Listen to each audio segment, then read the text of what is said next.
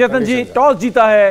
पहले हाथ घुमाने का फैसला किया। देख घुमा के यानी कि छक्का नहीं देख घुमा के ले रहे। जो बॉलिंग कर रहा- है। चांस नहीं ले रहे क्योंकि जैसे मैंने कहा ना उनको अगर 15 या 20 ओवर मिल गए तो वो डेंजरस हो जाएँगे। तो इंडियन टीम चांस ही नहीं ले रही है कि ठीक है हमें ये मैच जीतना है पर हमें बल्लेबाजी अ, मतलब नहीं अपने बैट्समैन को ज़्यादा करवाने की ज़रूरत। हमने जो बैटिंग करनी थी हमने कर ली अगेंस्ट पाकिस्तान आगे काफ़ी गैप है। हम उसके अंदर नेट में प्रैक्टिस कर लेंगे। सोच अच्छी है। आप जाइए आउट कीजिए, डेढ़ सौ के आसपास आउट कीजिए और अपना आके रन बना के गेम खत्म बिल्कुल तो यहाँ पर आपको बता दें कि रोहित शर्मा ने टॉस जीता है और टॉस जीतकर पहले गेंदबाजी का फैसला किया है और टीम में एक बदलाव तो है, क्योंकि यहाँ पर चेतन जी भी जो है ताऊजी बन गए हैं, क्योंकि जसप्रीत बुमराह के फैमिली में उनका बेटा हुआ है, उनका पहला बच्चा अपने जीवन का और ये जो है, कहीं ना कहीं जो है एक खुशखबरी है। टीम छोड़कर वो फ़िलहाल मुंबई में अपने परिवार के साथ है जसप्रीत बुमराह। और आज सुबह खबर आई है कि उनके फैमिली में एक छोटा सा नन्ना आया है। फ़िलहाल तो उसकी जगह एक चेंज तो डेफिनेट है और वो मुझे लग रहा है कि शायद यहाँ पर जसप्रीत बुमराह की जगह मोहम्मद शमी ऑटोमेटिक चॉइस यहाँ पर होते हैं और मेरे पास शायद यहाँ पर बीसीसीआई की रिलीज़ आ गई है टीम जी हाँ यहाँ पर आ गई और चौंकाने वाला एक फैसला। यहाँ पर मुझे लग रहा है कि आएगा और नहीं, लेकिन ये नहीं है। मुझे लग रहा था शायद प्रसिद्ध कृष्णा को ना दे दे। Shami automatic choice automatic choice आप प्रसिद्ध कृष्णा को इतनी जल्दी नहीं। हाँ। आप आप पहले शमी को खिलाएँगे उसके बाद अगर आपको कहीं रेस्ट देना है किसी को या शिराज को या बुमराह और शिराज को इकट्ठा रेस्ट देना देन प्रसिद्ध कृष्णा अंदर आएँगे। इतनी जल्दी नहीं। अभी शमी खेलेंगे देन आपकी सेम टीम होनी चाहिए कोई बदलाव नहीं होना चाहिए। शार्दुल ठाकुर अगर आपने पहले गेंदबाजी टीम दाग दूँ मैं? दाग दीजिए। दाग देता हूँ पाजी दाग देता हूँ। रोहित शर्मा शुभमन गिल विराट कोहली, श्रेयस अय्यर ईशान किशन, हार्दिक पांड्या, रविंद्र जडेजा, शार्दुल ठाकुर, कुलदीप यादव, मोहम्मद शमी और मोहम्मद सिराज। ये है टीम, एक बदलाव टीम में किया गया है, जसप्रीत बुमराह की जगह Mohammed Shami over to you बिल्कुल बिल्कुल ठीक बदलाव है, और इसमें आपको कोई ज़्यादा सोचने की ज़रूरत ही नहीं थी। आपके पास चार फास्ट बॉलर्स हैं, आज चार फास्ट बॉलर्स को गेंदबाजी करवाए, क्योंकि पिछले मैच में आपके गेंदबाज ऐसे हैं जिन्होंने कुछ नहीं किया। आप, हाथ खोलने का मौका नहीं उनको मिला। तो आज शमी शिराज शार्दुल ठाकुर। मैं मेरा अभी भी सोचा कि शार्दुल को थोड़े ज़्यादा ओवर्स करवाने की ज़रूरत है। आप आप कम से कम पाँच छः ओवर्स उनको पहले स्पेल में कराएँ तो कहते हैं ना एक रमा हो जाता है आप गेंदबाज आपको आइडिया हो जाता है इस कंडीशंस में आपको कैसी गेंदबाजी करनी है। देन आपके पास हार्दिक पांड्या है। देन आपके दोस्त पे नज़र तो हार्दिक पांड्या से भी थोड़ी गेंदबाजी ज़्यादा कराई जाए यहाँ पर कंफर्म कंफर्म कम से कम पाँच छः ओवर्स तो करवाने ज़रूरी है अनलेस कि नेपाल इतना सरवाइव करे तो अलग बात है अदरवाइज़ करता है तो आप चार पाँच छः ओवर्स तो हार्दिक से भी करवाए, वो बहुत ज़रूरी है। बिल्कुल, और ये आपके सामने पूरी टीम इंडिया की प्लेइंग 11 जो कि अब से कुछ देर बाद, यानी कि ठीक तीन बजे नेपाल के खिलाफ मैदान पर उतरने वाली है, एशिया कप का दूसरा मुकाबला आपके सामने। शुभमन गिल, रोहित शर्मा, विराट कोहली, श्रेयस अय्यर ईशान किशन, हार्दिक पांड्या पिछले मैच के स्टार पाँचवें विकेट के लिए एक सौ अड़तीस रनों की साझेदारी और टीम को कहीं ना कहीं सब कह रहे हैं कि पाकिस्तान बच गई। ये इस साझेदारी की वजह से जिन्होंने 138 रनों की साझेदारी की थी। रविंद्र जडेजा, कुलदीप यादव, शार्दुल ठाकुर, मोहम्मद शमी। मुझे लग रहा था कि शायद मोहम्मद शमी होंगे पिछले मैच में जसप्रीत बुमराह के साथ, लेकिन सिराज को मौका दिया था तो आज बुमराह की गैर मौजूदगी में यहाँ पर मोहम्मद शमी और मोहम्मद सिराज और शार्दुल ठाकुर, हार्दिक पांड्या, चार तेज गेंदबाज, जिसमें चेतन जी का कहना है कि दो तेज गेंदबाजों को टेस्ट करने की ज़्यादा ज़रूरत है, और वो है शार्दुल ठाकुर एंड हार्दिक पांड्या। लेकिन ये तो बात है, नेपाल के खिलाफ मैच है। चेतन जी, जीतना तो तय माना जा सकता है, लेकिन आप पाना क्या चाहोगे इस मैच में? क्योंकि पिछले मैच में हमें कई सारे झटके लगे तो इस वीकर ओपोजिशन के खिलाफ, कमज़ोर आपके सामने जो ओपोजिशन है, उसके खिलाफ हमें पाना क्या है, जीत के अलावा? सबसे इंपॉर्टेंट आप, आपके गेंदबाजों को आप पूरा मौका मिलेगा। आप अपने गेंदबाजों को टेस्ट कीजिए। कम मिनिमम पाँच पाँच ओवर्स आपके गेंदबाज अगर डालते हैं, अगर वो तीस ओवर तक बल्लेबाजी करती है नेपाल तो अपने पाँच पाँच छः के छः गेंदबाजों को एटलीस्ट पाँच पाँच ओवर मिनिमम पाँच पाँच ओवर ज़रूर करवाएँ। उससे तीस होते हैं। और कितने रन बनाती है नेपाल और ऊपर से शुभमन गिल रोहित शर्मा और विराट कोहली। अगर विराट कोहली तक बारी आए या श्रेयस अय्यर तक आपको बैटिंग करने का मौका मिले तो आपके बल्ले पे बॉल लगना बहुत ज़रूरी है। 25 25 30 30 रन भी अगर बनते हैं ना समीप वो कॉन्फिडेंस देता है आपको। अगर अगर आपके पिछले मैच में पहले मैच में आपके रन्स ना बने हो तो बहुत ज़रूरी है आपको मैच टाइम विकेट के ऊपर कितना आप रुकोगे वो बहुत इंपॉर्टेंट रहे बिल्कुल और बॉलिंग से ज़्यादा शायद आप बैटिंग पर नज़र डालेंगे क्योंकि आपके बैट्समैन बहुत बुरी तरीके से फ्लॉप हुए और आप चाहेंगे कि बल्लेबाज आपके लय में आ जाए फॉर्म में आ जाए फुटवर्क उनका चलने लगे, उनका जो हैंड आई कोऑर्डिनेशन है, वो बेहतर हो जाए। लीजिए थोड़ा सा नेपाल की टीम को भी फ़ेमस कर देते हैं। भाई नेपाल टीम भी बता देते हैं जरा, नेपाल के वो प्लेइंग इलेवन क्या है, जिनके बारे में हमारे हिंदुस्तान के फैंस ने कमी सुना होगा। कुशाल बुरतल आसिफ शेख विकेट कीपर रोहित पौडल, जो कि सिर्फ़ 20-21 साल के हैं, कप्तान है। रोहित, दोनों साइड के कप्तान बाय दी हुए रोहित हैं। वो पौडेल हैं और हमारे शर्मा जी हैं।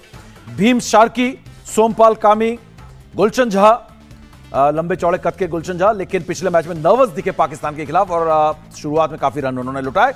दीपेंद्र सिंह, कुशाल माला, संदीप लामिचने, ये आईपीएल भी खेल चुके हैं और काफ़ी एक्सपीरियंस खिलाड़ी हैं। करण केसी और ललित राजवंशी, ये है नेपाल की टीम जो कि अब भारत के खिलाफ पहले बैटिंग करने उतरेगी, क्योंकि टॉस जीतकर टीम इंडिया ने पहले गेंदबाजी का फैसला किया है। तो चलिए एक रिपोर्ट आपको दिखा देते हैं। इसके अलावा एक रिपोर्ट दिखाना भी ज़रूरी है कि रोहित बनाम रोहित में क्या यहाँ पर हो सकता है? क्यों?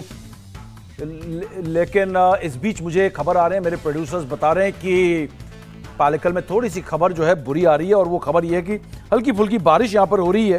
तभी मैंने कहा ना आपको कि मौसम खराब होगा आप चांस नहीं ले सकते नेपाल के खिलाफ। आपको टॉस जीतिए फील्डिंग कीजिए। अगर मौसम बिल्कुल खुला हुआ है, जो पहले न्यूज़ आ रही थी हमारे पास, खुला हुआ है वहाँ पर आप चांस ले सकते हैं कि आपके बल्लेबाज 50 ओवर खेले तो आप थोड़ा रमा हो जाए। लेकिन ये कंडीशंस ख़राब हैं, और प्लस समीप पहला मैच आपके एक एक पॉइंट्स है। अगर कहीं ना कहीं गड़बड़ होगी, जैसे मैं बात कर रहा था कि नेपाल को कुछ कम ओवर मिल गए खेलने के लिए तो वो मुश्किल हो जाएगी। तो बेस्ट ये डिसीज़न है। आप टॉस जीतो फील्डिंग करो। अब जो होगा, अगर मैच नहीं होता मैच धुल जाता है, तब आपको एक पॉइंट मिला, आप क्वालिफाई कर गए। अगर आप, आपने, अब कुछ ना कुछ मैच होता है तो आपके पास सेकंड चांस है। आप कैलकुलेट कर सकते हैं कितने ओवर्स में आपको रन बनाने हैं। बिल्कुल, लेकिन फ़िलहाल बहुत बूंदाबांदी सी हो रही है। ऐसी कोई ज़ोर की बारिश नहीं हो रही, जिसको ना कहते हैं मूसलाधार बारिश। क्योंकि मैं जो सारे अपडेट्स देख रहा हूँ और ऐसे, ऐसी कोई चिंता की बात नहीं है क्योंकि धूप भी वहाँ पर बड़ी ज़बरदस्त खिल रही है और बड़ा फ़र्क है कोलंबो, कैंडी और पालिकल में। पालिकल में मैंने आपको पहले भी कहा है कैरेक्टर जो है बड़ा अलग है। कैंडी में तेज बारिश होती है और पालिकल में बिल्कुल बूंदाबांदी। और जैसा कि कह रहे हैं कि सारे मैचेस कोलंबो से अब हटा दिए जाएँगे, पालिकल में कराए जाएँगे और शायद दाम्बुला लेकर जाएँ। दाम्बुला और साढ़े चार, पाँच घंटे अंदर है, बिल्कुल श्रीलंका के बीच में और सबसे सूखा इलाका कहलाता है वो श्रीलंका का। वहाँ पर मैं मैच कवर कर चुका हूँ। बहुत ड्राई है वहाँ पर, बिल्कुल लाल मिट्टी है और बारिश नहीं होती है। फ़िलहाल फ़िलहाल जहाँ तक बात है, आज जो ये मैच है नेपाल के खिलाफ, हमारी नज़र किस पर होगी? हमारी नज़र किस पर होगी? इस रिपोर्ट में देखिए, क्योंकि बहुत ज़रूरी है कि टीम इंडिया यहाँ पर 10 ऑन 10 स्कोर करे। अगर आपको एशिया कप और उसके बाद वर्ल्ड कप में बड़ा स्कोर करना है।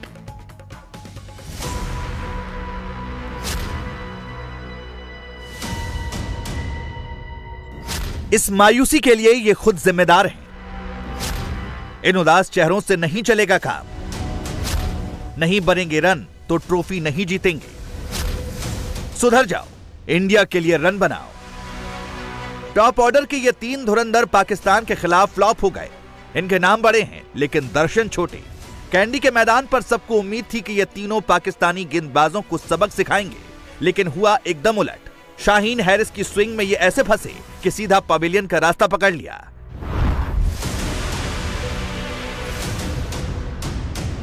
एशिया कप से पहले कप्तान रोहित को अपने टॉप ऑर्डर पर पूरा भरोसा था। प्रेस कॉन्फ्रेंस में भी रोहित ने बड़ी बड़ी बातें बोली थी। लेकिन इन बड़ी बातों से काम चलने वाला नहीं है कप्तान साहब।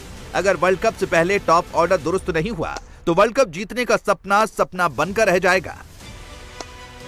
पाकिस्तान के खिलाफ टॉप ऑर्डर के तीन बल्लेबाजों ने मिलकर 25 रनों का योगदान दिया। गिल ने 10 रन, रोहित ने 11 और विराट ने 4 रन बनाए।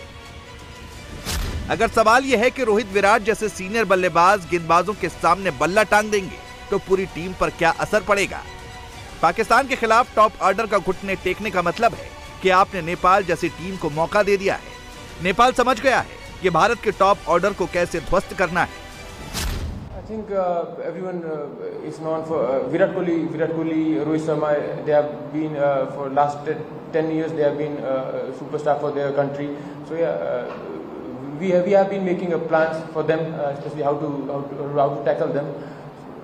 everyone is making the homework, so hopefully we'll deliver tomorrow. सुन लिया ना रोहित विराट। क्या कह रहे हैं नेपाल के कप्तान? अगर अभी भी समझ में नहीं आया तो सुपर फोर में पहुँचने की कोशिश धूमिल हो जाएगी। वैसे कमाल की बात है और चेतन जी जो हैं पूर्व चेयरमैन ऑफ़ सिलेक्टर्स रह चुके हैं और मैं हमेशा कहता हूँ कि BCCI president BCCI secretary and chairman of selectors Hindustan की क्रिकेट की तीन सबसे बड़ी कुर्सियाँ हैं सबसे बड़े पोस्ट हैं। लेकिन समझ में नहीं आया, टीम इंडिया ने पिछले दो दिन से कोई प्रेस कॉन्फ्रेंस नहीं की है और प्री मैच भी नहीं की और पाकिस्तान के खिलाफ होने वाले मैच के बाद पोस्ट मैच प्रेस कॉन्फ्रेंस भी नहीं की। क्यों नहीं की? इतना आजकल क्यों दूर रहते हैं? इसके बारे में थोड़ी सी रोशनी अगर आप डाल सकते हैं तो बड़ा मज़ा आएगा। और और जितना जितना कम बोलो ना उतनी कम गलतियाँ होती है ये आप ही लोगों ने मुझे अच्छा। सिखाया था चैनल में अच्छा। बैठने के बाद कम बोलो हाँ। कम गलतियाँ होंगी कम कंट्रोवर्सी में पढ़ो तो ज़रूरत क्या देखिए कम बोलो लेकिन रन तो ज़्यादा बनाओ रन बना लेंगे रन देखिए कल हाँ। रन तो बनाए। पिछले दो सौ छियासठ तो रन पे आ जाते हैं कम बोलो ठीक है हमें कुछ शिकायत आपने जवाब दे दिया कम बोलो इसलिए प्रेस कॉन्फ्रेंस में नहीं आते हैं बात नहीं करते हैं वो रन भी कम क्यों बना रहे दो हैं सौ छियासठ बनाए थे तीस रन से जीतते मैच में अगर मैच तो हो जाता। दो सौ ईशान किशन इस समय हमें पता क्या- सत्तासी उनके थे। लेकिन टॉप ऑर्डर के बारे में बताइए कि टॉप ऑर्डर ने प्रेस कॉन्फ्रेंस में आना था जिनमें रोहित शर्मा शुभमन गिल और विराट कोहली शामिल हैं। चेतन जी इन तीनों से रन नहीं निकल रहे। हमें पूरी उम्मीद है कि नेपाल के खिलाफ रन निकलेंगे। निकलेंगे। लेकिन नेपाल अगर सौ रन पर ऑल आउट हो जाती है तो आप इनके खिलाफ रन क्या बनाएँगे आप? पचास एक बनाएगा पचास दूसरा बनाएगा कोई टेंशन नहीं है इसके अंदर।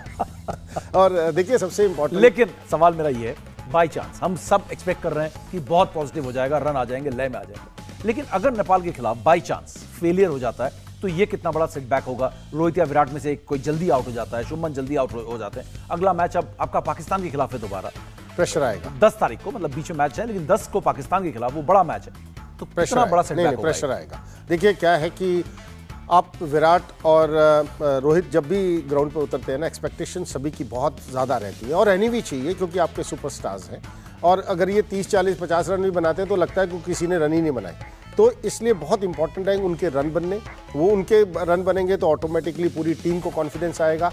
अगर गलती से, कहते हैं ना, हो जाता है क्रिकेट के अंदर एक बॉल चाहिए बल्लेबाज को आउट होने के लिए आउट हो जाते हैं तो प्रेशर डेफिनेटली उस प्लेयर पे तो रहेगा रहेगा। पूरी मैनेजमेंट के ऊपर प्रेशर रहता है कि आपका बड़ा प्लेयर अगर रन ना बना रहा हो तो प्रेशर तो रहता है, क्योंकि आप एक, दो, तीन बहुत इंपॉर्टेंट है पचास ओवर गेम के अंदर। वो तो किसी फॉर्मेट में भी इंपॉर्टेंट है बट इस फॉर्मेट के अंदर अगर उन्होंने एक प्लेटफॉर्म बनाया ना तो फिर मिडल ऑर्डर के लिए बहुत आसान हो जाता है। तो इसलिए मैं कहता हूँ कि आपके तीनों जो ऊपर के प्लेयर हैं, शुभमन गिल, रोहित शर्मा एंड विराट कोहली, इनको गेम टाइम और इनके बल्ले पे ज़्यादा गेंद लगनी बहुत ज़रूरी है बिफोर आपके जो इंपॉर्टेंट गेम्स आएँगे। लेकिन अगर इनके रन नहीं आते आज, नेपाल के खिलाफ तो ये मैं दूसरी टीमों को यहाँ पर नहीं गिन रहा हूँ। श्रीलंका वैसे काफ़ी घर पर खेलते हुए काफ़ी मज़बूत टीम होती है और अनप्रडिक्टेबल है। इन्होंने पिछला अभी फ़िलहाल मौजूदा एशिया कप चैंपियन भी हो, दुबई में वो जीते भी हैं। किसी ने शायद सोचा नहीं था यहाँ पर चेतन जी।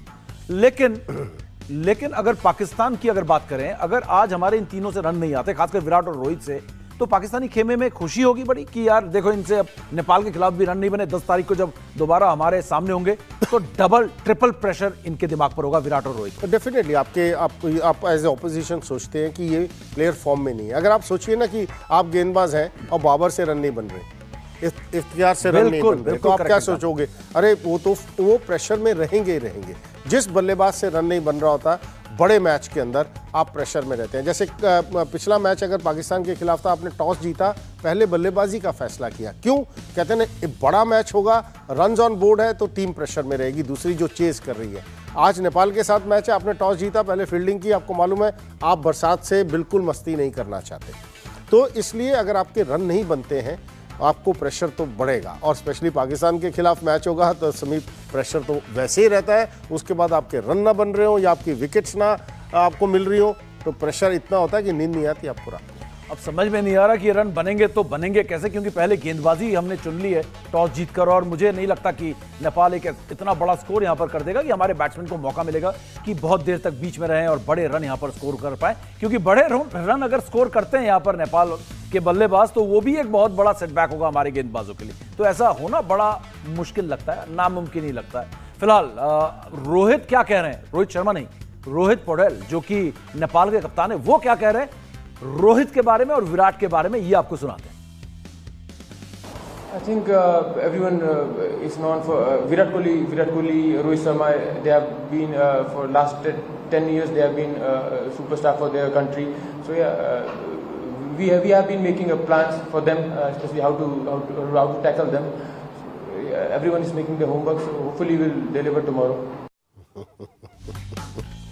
Confidence तो है कह रहे हैं कि पिछले मुझे कई एक बात समझ नहीं है आज तक मतलब मैं तो क्रिकेटर पॉइंट ऑफ़ व्यू से बात करता हूँ क्रिकेट तो मतलब आप रोहित के लिए स्ट्रेटेजी बनाई आपने विराट के लिए स्ट्रेटेजी बनाई अरे भाई बासठ की औसत के साथ शुभमन गिल ने पिछले सभी एक साल से बैटिंग कर रहा उसके अगेंस्ट मतलब आपने स्ट्रेटेजी नहीं बनाई। आपने सुरेश अय्यर के खिलाफ स्ट्रेटेजी नहीं बनाई। मतलब कहते हैं ना तभी आप बड़े बड़े प्लेयरों की ज़्यादा बात आप करते हैं। आप उनको प्रेशर में डालने की कोशिश करते हैं। और नेपाल के कप्तान ने पिछले मैच के बाद एक एक स्टेटमेंट दिया था। और मुझे अच्छा भी लगा कह रहे at least world around cricketing circle में हमारी पहचान हुई है हम पाकिस्तान से हारे हैं लेकिन हमारी पहचान हुई है। आज भी देखिए हम नेपाल को डिस्कस कर रहे हैं। हमने इससे पहले मुझे नहीं लगता पिछले आठ साल दस साल में कभी डिस्कस किया हो। तो ऑब्वियसली जब उनका कप्तान आएगा वो रोहित और विराट की ही बात करेगा। तो उससे प्रेशर नहीं आना चाहिए किसी भी प्लेयर के ऊपर। बिल्कुल। आप देखिए बातों से तो क्रिकेट खेली नहीं जाती। खेलनी। तो आपको वो सेवेंटी यार्ड्स में है। तो वो देखेंगे जैसे अभी वक्त निकलेगा कैसे बिल्कुल सही बात है। लेकिन अगर हम गेंदबाजी की अगर बात करें क्योंकि हम पहले गेंदबाजी कर रहे हैं तो यहाँ पर आप कितना स्कोर देख रहे हैं यहाँ पर हम नेपाल को बनाने दें? क्या, क्योंकि आप चाहेंगे कि इनको पचास में ऑल आउट कर दें। क्योंकि आप अगर बॉलिंग पहले कर रहे हैं, मौसम का आपको पता नहीं है, बारिश कभी भी आ सकती है तो ऐसे आप चाहेंगे जल्दी से जल्दी आउट कर दें। तो ऐसे में लग तो नहीं रहा कि हमारे बैट्समैन जो खासकर जिनको बैटिंग की बहुत ज़रूरत है इन द मिडल मतलब आकर मैच में खेलने की मैच प्रैक्टिस की ज़रूरत है, उनको ज़्यादा प्रैक्टिस मिलने वाली। तो बॉलिंग में आप टारगेट क्या देख रहे हैं चेतन जी? कितने रन हमने नेपाल को बनाने देने जो कि हमें कहेंगे कि हाँ ये सक्सेस है। क्योंकि आपने एक स्टेटमेंट भी देना होता है ना सबको कि देखो छोटी टीम थी हम बड़ी टीम थे और हमने बड़ा प्रदर्शन किया है। समीप देखिए कोशिश तो आपकी होती है जितनी जल्दी आप आउट कर लें। और और आप पचास ओवर की गेम के अंदर ना सक्सेसफुल गेंदबाज तब कहलाए जाते हैं जब आप तीन रन प्रति ओवर से ज़्यादा ऑपोजिशन को बनाने नहीं देते हैं। तो इसका मतलब 150 से नीचे नीचे अगर आप आउट कर लेते हैं तो आपकी गेंदबाजी ने बहुत बढ़िया गेंदबाजी आज की है। ये कैलकुलेशन आप करते हैं। उससे पहले आउट हो जाए नथिंग लाइट बट तीन रन प्रति ओवर से ऊपर नहीं जाने देना नेपाल को। ये एज ए गेंदबाज अगर मैं गेंदबाजी करूँगा ये मेरी सोच होगी। तीन रन प्रति ओवर आप इससे ज़्यादा आप नहीं देंगे। एज ए बॉलर तो अगर ये सभी की सोच है तो आप डेढ़ सौ के नीचे नीचे रखिए नेपाल आउट होना चाहिए। बिल्कुल। कुछ और पहलू है जिस पर हम बात करेंगे खासकर बुमराह की गैर मौजूदगी बुमराह का टीम छोड़कर बीच में घर आना, क्या ये टीम के लिए एक सेटबैक हो सकता है? बुमराह के लय जो उन्होंने हासिल किए, क्या उसके लिए ये थोड़ा सा गड़बड़ हो सकता है? थोड़ा सा आज मैच से हटकर है, लेकिन इस पर बात करना बहुत ज़रूरी है। फ़िलहाल एक ब्रेक के लिए यहाँ पर रुकेंगे, लेकिन ब्रेक में जाने से पहले मैं आपको बता दूँ कि India TV cricket YouTube channel जहाँ पर दो तरफा बातचीत होती है। आप चेतन जी से बात कर सकते हैं, मेरे से बात कर सकते हैं, हम दोनों मिलकर हमारा पूरा परिवार जो है इंडिया टीवी यूट्यूब क्रिकेट पर जुड़ सकता है। मैच से पहले मैच के बीच में और मैच के बाद India TV cricket YouTube channel पर। ज़रूर सब्सक्राइब करें लाइक और शेयर तो करना ही है और सब्सक्राइब ज़रूर करें। तो मिलते हैं आपको इस छोटे से ब्रेक के बाद। इंडिया टीवी, हर वक्त, हर जगह। डाउनलोड करने के लिए सर्च करें India TV news Google Play Store या एप स्टोर पर।